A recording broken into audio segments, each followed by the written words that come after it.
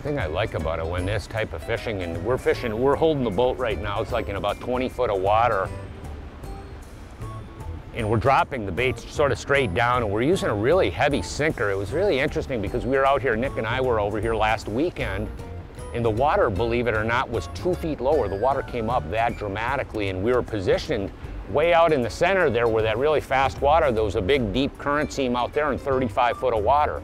Now it seems like these fish have either positioned, either blown out of that hole, which they could have, but one thing that's really the most critical is the current speed. There's no question about it. You got to get on the right current speed where it's sort of an interesting thing. They don't like the washing machine effect. They like the current to be relatively, even though it's fast, but stable fast, if you understand what I mean. And if, a lot of times one of the best spots are where you have a deep slick water or a eddy and then fast deep current going past that area is the really critical types of spots you're looking for at this time of the year.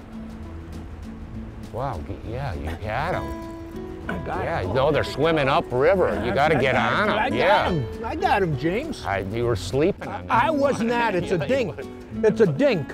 What? It's a dink. Oh, that's all right. Little fiddler. Yeah, bo- boat flipper. Boat flipper. But my first cat for the season, so I'm not. I'm not complaining, Nick.